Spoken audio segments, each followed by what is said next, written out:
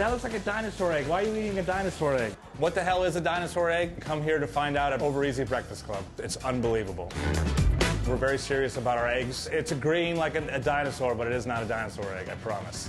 The look on their face, they truly were asking if it was a dinosaur egg. So, what came first, the chicken or the egg? I would have to say the egg.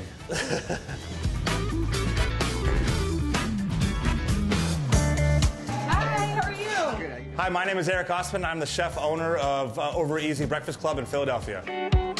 With brunch here in Philly, I found it's kind of become more of a like a dinner scene. I think brunch is now really celebrated and fun for a lot of people. We chose an egg for the design, so there was no question that we were brunch.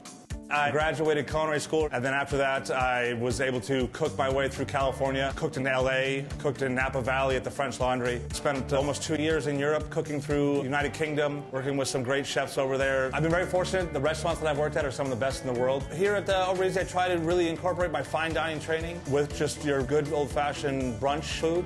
The recipes are really old from my side of the family, both sides, my father's side and my mother's side. They are tried and true recipes that don't need anything fancy. We have this really fun dish that we call the dinosaur egg. That's a whole avocado that we split in half. We stuff it with a poached egg. We put it back together and wrap it in bacon. It was basically a dish that came up with, my wife.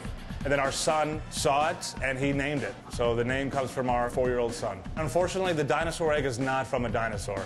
We have had people asked if it was a real dinosaur egg. If they were kidding or not, I don't know, but I hope so. So we have whole avocados, and I have pre poached two eggs here. Just poach them till they're just barely done, just enough so you can handle them. You're gonna take your avocado, split it right in half. The easiest way to get the pit out, take your knife, give it a little and a twist. They come right out. You lay out three pieces of bacon. And you want them kind of just overlapped a little bit because the bacon actually is going to cook itself together. Remove the avocado from the peel and then lay it about three inches back from the end of the bacon. Then you take your pre-poached egg, drop them in that little cubby you made. Then you encase the egg and then you're just essentially lightly rolling Seeing that's where you're going to want to put down because you're going to want to seal that bacon together so it doesn't unravel. You're gonna put that seam right into the hot grease like that. This is one of my favorite pickups in the restaurant because we get so busy. After the prep is done with it, it's done. You want it on medium heat. You can see here we have some really nice color. So now that's when you want to turn it. Prop it on the side here to get the end of it. We serve it on a bed of local organic uh, arugula. We almost make a nest for the egg to sit in with the arugula. You're not going to cook that egg all the way through. You're going to still have a nice runny yolk in the middle if everything comes out the way it should. This is it.